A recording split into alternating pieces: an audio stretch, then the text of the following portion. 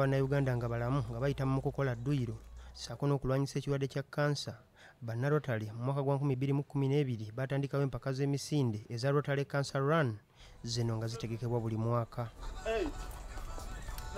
Empaka z'omwaka guno zitongozeddwa olunaku olwaleero nga zigenda kubeerawo nga asatu omwezi guno wabula nga zigenda kutegekebwa mu ngeri ya saayansi nga buli agenda okuzeetabamu wakuddukira mu kitundu gy'ali ng'eyakulemberako rotary ku mutendera gwa district governor stephen mwanje bwannyonnyola. Ku mulundi guno tejja kuba kuŋŋaanira wamu olw'ensonga ya covid-19 nga yemugiraba covid atumalawo.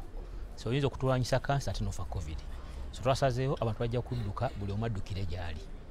Naye nga tujja kukozesa tekinologiya aliwo okuba nti wonna gy'obeera osobola okulaba ekigenda mu maaso. Roseti nabbumba ono nga ye mukulembeze wa rotary wano mu ggwanga ne tanzania agamba nti ekyabatandisaawo empaka zino kuyambako okulwanyisa kirwadde kya kansa mu bannayuganda. Kakati ku kiseera kino tulinawo nga biliyoni eziwera ebbiri n'ekitundu zetwakakuŋŋaanya mu kansarwani ezo ezisembyeyo nga tujja tutereka tusobole okuteeka okwo. Kaakati ezo ntono nnyo ku zetwetaaga okuzimba newankubadde kiri bwe kityo ffe tugenda kutandika okukola tuziteeke tutandike okuzimba banka. Kampuni ya centenary bank empaka z'omwaka guno ezitaddemu obukadde kikumi obw'ensimbi era omukungu fabian kasi ono nga yesenkulu wa banka eno atubuulidde lwaki ensimbi zino bazitaddemu? Twakiraba nti kansa kyekimu ku bizibu ebibadde bibatawaanya ebikyabatawaanya n'olwekyo ne tusalawo nti tulina okwenyigira mu kaweefube okusookera ddala okuyigiriza abantu baffe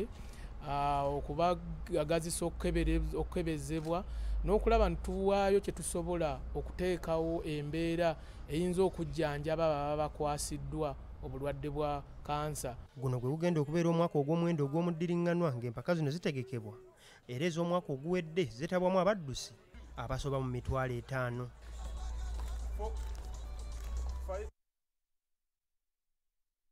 Weewaawo gavumenti ya uganda